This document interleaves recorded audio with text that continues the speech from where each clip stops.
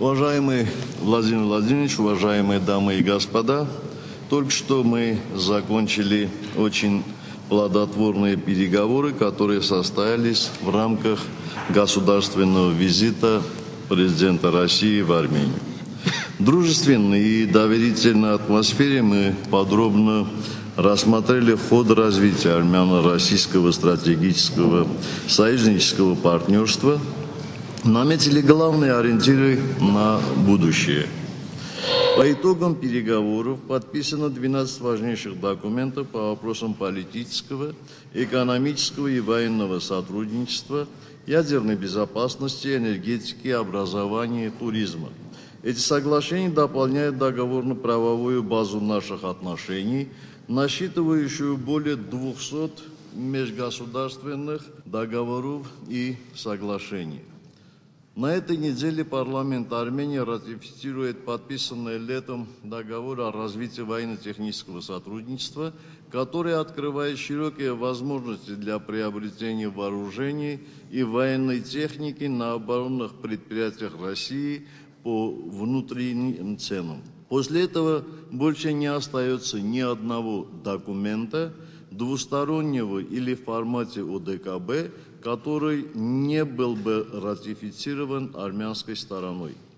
Мы отметили важность дальнейшей координации действий на международной арене и тесного сотрудничества во всех областях межгосударственных отношений, включая политическую, торгово-экономическую, культурно-гуманитарную, военную сферы и подтвердили незыблемость договора о дружбе, сотрудничестве, взаимной помощи и декларации о союзническом взаимодействии между Республикой Армения и Российской Федерацией, ориентированным на 21 век.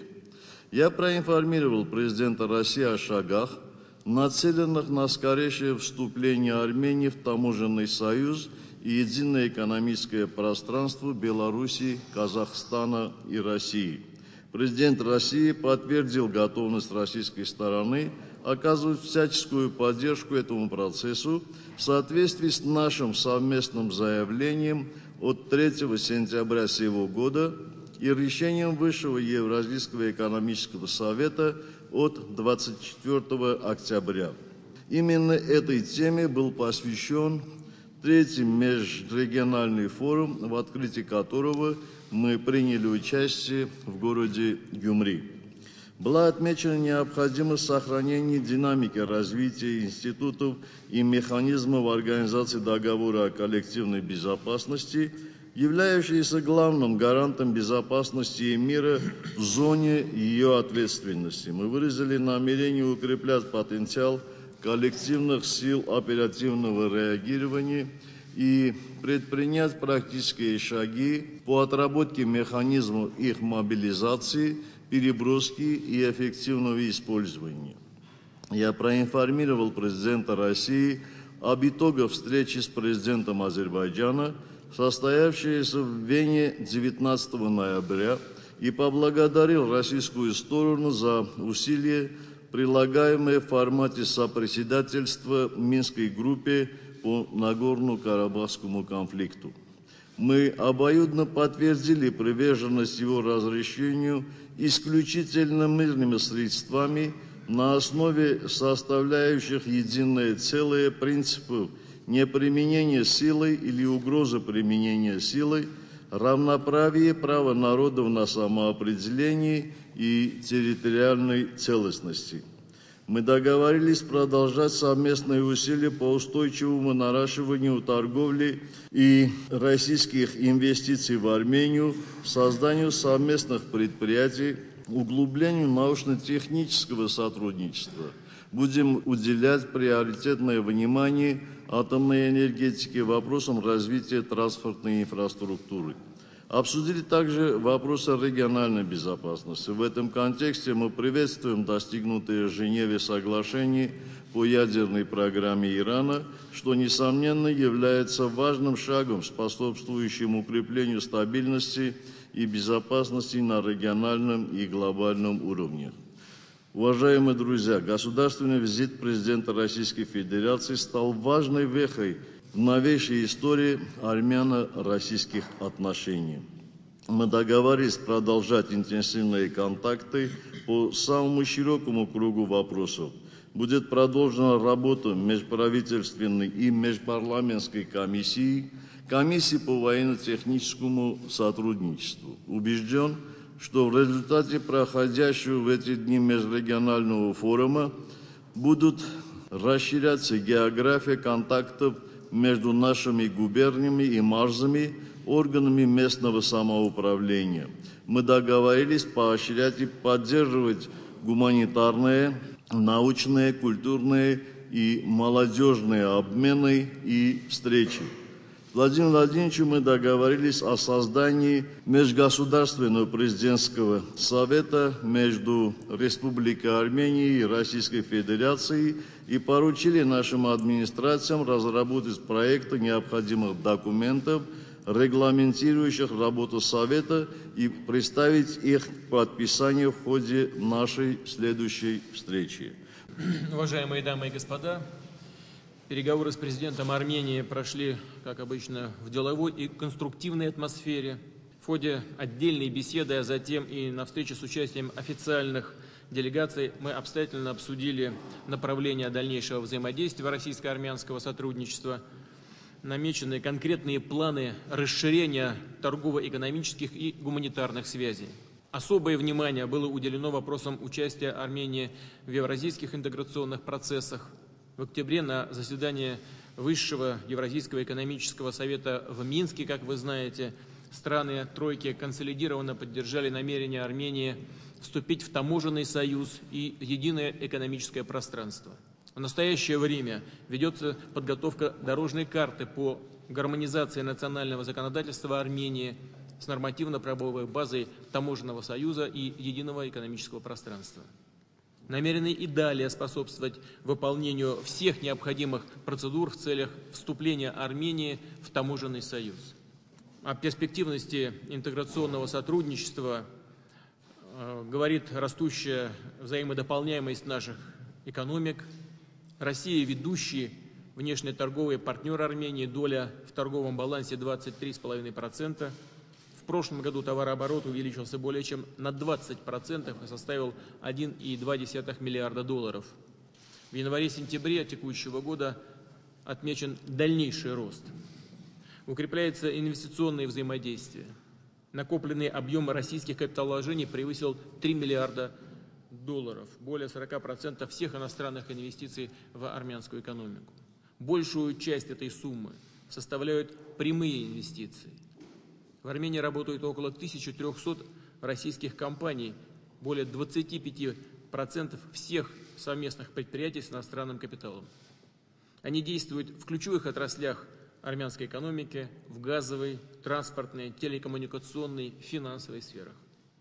Дальнейшему развитию взаимовыгодного партнерства в энергетике призваны способствовать достигнутые договоренности о формуле ценообразования и объемах поставок российского природного газа в Армению. Продвигается взаимодействие в области атомной энергетики. В наших планах продление сроков работодействующего энергоблока армянской АЭС – Сегодня мы с президентом Армении присутствовали при вводе в промышленную эксплуатацию пятого энергоблока Розданской тепловой электростанции. Объем инвестиций «Газпрома» свыше 300 миллионов долларов. Я вот у э, председателя «Газпрома» спрашивал, он сказал свыше 300, но это свыше 400 на самом деле. Уверена, что работа станции послужит укреплению энергобезопасности Армении. В ходе переговоров условились оказывать приоритетную поддержку совместным э, инициативам высокотехнологичных отраслях. Речь, в частности, идет о создании космического аппарата связи и телевещания Армении, а также об организации научных космических исследований на базе армянской обсерватории, Бюроканской обсерватории. Активно развивается взаимодействие в области образования. Успешно работает Российско-Армянский университет – Оказывается поддержка школам с преподаванием на русском языке. В ближайших планах открытие в Ереване русскоязычной гимназии, филиала Московского государственного университета имени Ломоносова. Намерены содействовать дальнейшему расширению туристических обменов. В прошлом году в Армении побывали более 40 тысяч россиян, на 17% больше, чем до этого. Напомню, на прошедшем в октябре в Минске саммите СНГ принято решение об объявлении 2014 года в Содружестве годом туризма. Это создает дополнительные благоприятные условия для наращивания поездок наших граждан, развития общей инфраструктуры отдыха. Большой потенциал имеет сотрудничество по линии регионов Российской Федерации и Армении. Мы с президентом Армении убедились в этом лично сегодня, когда, и президент об этом уже говорил, участвовали в третьем межрегиональном форуме. Находясь в Гаври, мы также провели встречу с военнослужащими 102-й российской военной базы. Исходим из того, что присутствие российских военных на армянской земле служит укреплению стабильности и безопасности в Закавказье, повышает уровень практического взаимодействия России и Армении как государств-членов ОДКБ в военной и военно-технической областях. В контексте обсуждения актуальных региональных и международных вопросов затрагивалась ситуация и вокруг Нагорно-Карабахского урегулирования. Россия приветствует возобновление прямых контактов между руководителями Армении и Азербайджана. Вы знаете, уважаемые коллеги, я недавно был в Баку с визитом, мы там с президентом Азербайджана также очень подробно говорили о перспективах урегулирования. И мне очень приятно отметить, что встреча, которая прошла 19 ноября в Вене, э, носила явно позитивный характер. Мы очень надеемся на здравый смысл и стремление к урегулированию с обеих сторон. Будем всячески этому способствовать в рамках Минской группы ОБСЕ. В завершение хотел бы поблагодарить армянских друзей за радушный прием. Убежден, что достигнутые договоренности внесут заметный вклад в развитие всего комплекса союзнических отношений России и Армении. Благодарю вас за внимание. Аркадий Григорян, телекомпания «Армения». Вопрос обеим президентам. Международное сообщество отмечает прорыв в вопросе ядерной программы Ирана – зафиксированный в Женеве, достижению которого э, поспособствовала и Россия. По вашему мнению, как достигнутое соглашение повлияет на развитие транспортно-коммуникационных инфраструктур, в частности в нашем регионе, учитывая, какое оно имеет жизненное значение для перспектив развития экономики Армении? Спасибо. Ну, как известно, Иран является важной страной для Армении, поэтому решение мирным путем тех спорных вопросов, которые существовали между Исламской Республикой Ирана и европейским сообществом, с Соединенными Штатами мы оцениваем только положительно. Вы просто на практике могли бы убедиться, что с каждым годом, к сожалению, туристов из Ирана в Армении становилось все меньше и меньше. Я думаю, что когда наладятся отношения, это только нам на руку сыграет. А здесь основная роль принадлежит Дему России. Владимир Владимирович подробно ответит на твой вопрос. Россия, конечно, приветствует договоренности по иранской ядерной программе. В основу этих договоренностей в значительной степени положены российские предложения. Мы всегда исходили из того, что это сложнейший вопрос, этот сложнейший вопрос должен быть решен на основе принципов и норм международного права, предоставления Ирану права на развитие мирной ядерной энергетики, но при обязательном обеспечении безусловной безопасности всех стран региона. Э, это первый этап, нам необходимо двигаться дальше. Мы очень рассчитываем на то, что международное сообщество вместе со всеми участниками этого процесса в ближайшее время Э, достигнет договоренности по продолжению совместной работы и по достижению новых, э, новых результатов. Для этого созданы все необходимые условия. А что касается транспортной инфраструктуры, то, конечно, имея в виду, что э, через Иран возможно налаживание, возможно, можно наладить сообщения соответствующие. У нас есть определенные планы по развитию железнодорожного транспорта. Это не простые с точки зрения финансового обеспечения проекта, но они вполне реализуемы. Вместе с тем, мне представляется, что мы должны как следует поработать все вместе, в том числе в регионе Закавказья, над тем, чтобы восстановить все то утраченное, что эффективно работало еще в период Советского Союза. Имею в виду возможность организации такого сообщения в рамках стран СНГ. Есть определенные проблемы, но мне кажется, что и и о их решении тоже можно договориться. Во всяком случае, сегодня для этого создаются необходимые предпосылки. Телеканал Арньюз, Шаки Казарян. Э, вопрос к президенту России. Господин Путин, скажите, пожалуйста, деятельность Российской Федерации в рамках Минской группы ОБСЕ и в целом э, региональная роль России свидетельствует о том, что э, она заинтересована в сохранении мира и стабильности в регионе. Армения также э, не видит альтернативы сохранению мира и безопасности. Власти Азербайджана часто размахивают мечом, э, угрожая возобновить военные действия. Какой будет реакция России как э, стратегического союзника Армении, если милитаристские заявления Азербайджана будут воплощены в жизнь? Спасибо. Вы, вы, вы, вы почаще это повторяете вслух. И тогда э, условия для мирного урегулирования будут э, сокращаться, а, а другие меры решения проблемы, они будут укрепляться. Нам бы хотелось, чтобы никогда в этом регионе мира, так близко расположенном к российским границам и имеющим такие тесные связи с Российской Федерацией, никогда больше не, не лилась кровь. Ни армянских граждан, ни Азербайджанской республики. Э, вот именно над этим мы и работаем. А сейчас э, гипотетически говорить о том, э, что бы мы делали, если начнется война, на мой взгляд, абсолютно контрпродуктивно. Это выглядело бы так, что мы готовимся к войне, а мы должны, как сказал уже президент Армении, добиться того, чтобы все спорные вопросы были решены исключительно политико-дипломатическими средствами. Мы к этому и будем стремиться. Валерий Санфиров, радиостанция «Маяк» и Вести ФМ. А, формула ценообразования на российский газ для Армении, ну, насколько можно предположить, будет для армянской стороны достаточно выгодной. И, наверное, это можно рассматривать как первый практический шаг к стремлению Армении присоединиться к таможенному союзу. Владимир вот вы сказали, что разрабатывается дорожная карта по интеграции двух стран. Вот когда она будет подготовлена и какой вообще будет скорость этих интеграционных процессов? Я уже сказал о том, что мы в Минске договаривались о начале совместной работы по присоединению Армении к таможенному союзу и единому экономическому пространству. Мы создали соответствующие рабочие группы, и на двухсторонней основе между Арменией и Россией, и э, на многосторонней основе имеется в виду рабочая группа между Арменией и Комиссией Таможенного Союза.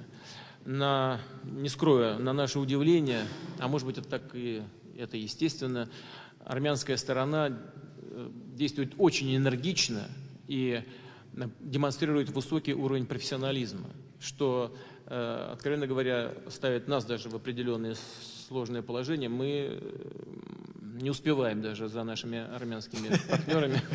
Вот. И сделаем все для того, чтобы э, это событие присоединение в полномасштабном формате Армении к таможенному союзу состоялось как можно быстрее.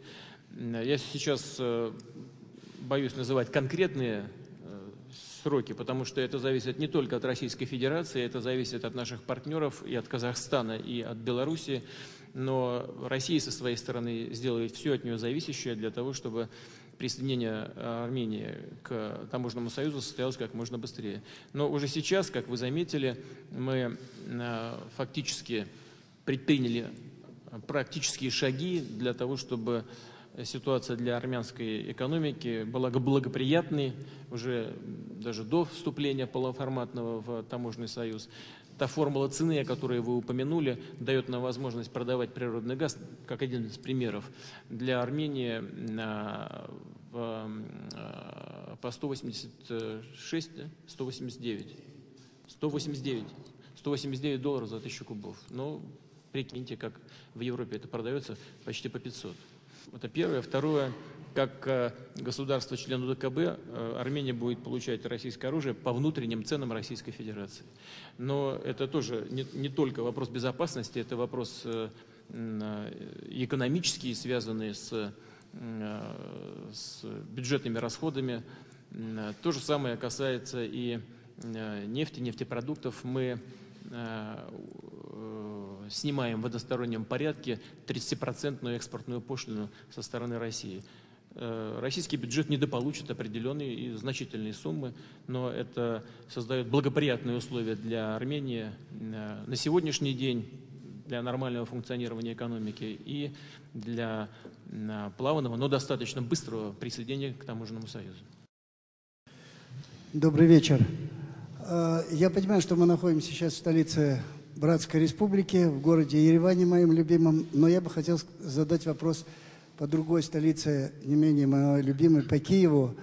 Там оттуда последнее время звучит все более тревожное сообщение, звучат даже призывы к революции, соответственно, захватываются государственные учреждения, бьются стекла и прочее, прочее. Как бы вы охарактеризовали или прокомментировали события последних нескольких дней? Что касается событий в Украине, то это напоминает мне больше не революцию, а погромы. И, как мне покажется странным, на мой взгляд, это мало связано с взаимоотношениями Украины с Евросоюзом. Ведь обратите внимание, внутрь этих э, проектов соглашений никто не погружается, никто ничего не видит и никто ничего не слышит. Говорят, что у украинского народа отбирают мечту. Но если посмотреть на содержание этих соглашений, то до этой мечты, а в принципе мечта хорошая, э, многие могут просто не дожить, не дотянуть. Потому что условия очень жесткие. А, и на мой взгляд, все, что происходит, как я уже сказал, не имеет прямого отношения к взаимодействию Украины с Евросоюзом. Это внутриполитический, э, внутриполитический процесс, попытка оппозиции э, раскачать действующую, легитимную, хочу подчеркнуть, власть в стране.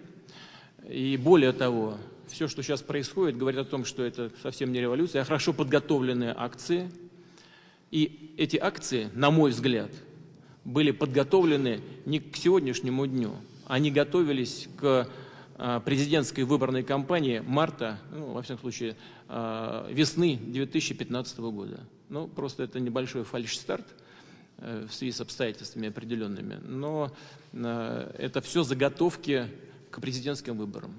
И то, что это заготовки, это, по-моему, для всех объективных наблюдателей очевидная вещь, имея в виду, что мы видим э, с экранов телевизоров, как э, действуют хорошо подготовленные и обученные группы боевиков, на самом деле. Вот э, моя оценка. А оппозиция, она то ли не всегда может контролировать, что там происходит, то ли просто является определенной политической ширмой для экстремистских действий.